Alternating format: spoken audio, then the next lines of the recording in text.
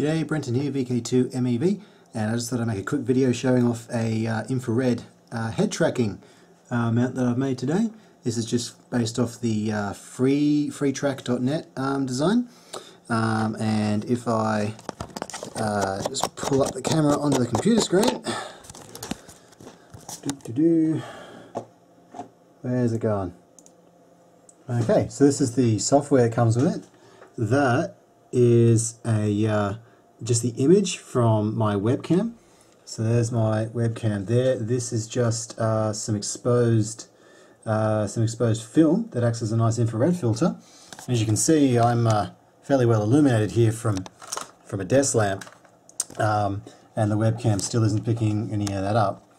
Um, now uh, on the left there, you can see the little skull. We can uh, just make that bigger okay and it's going to track my my head movements. There's some up and down movements there some left and right. The only issue the camera was blocking one of the uh, uh, one of the uh, LEDs there.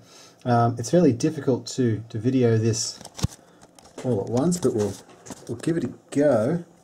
Um, I can't yeah there we go. So you can see I believe there you can see my head and the uh, skull on the computer screen moving accordingly. Um, basically I did just did this for, for Arma 3 and uh, it works absolutely beautifully and there's some uh, example video uh, elsewhere on my channel.